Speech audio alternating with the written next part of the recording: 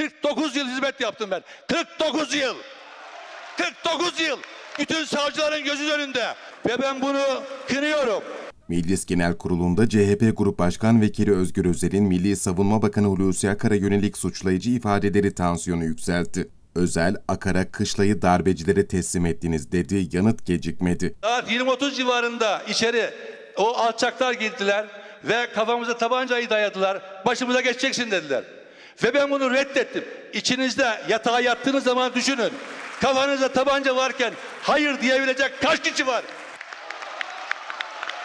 Denemeden söylemeyin. Denemeden söylemeyin. Deneyin. Deneyin.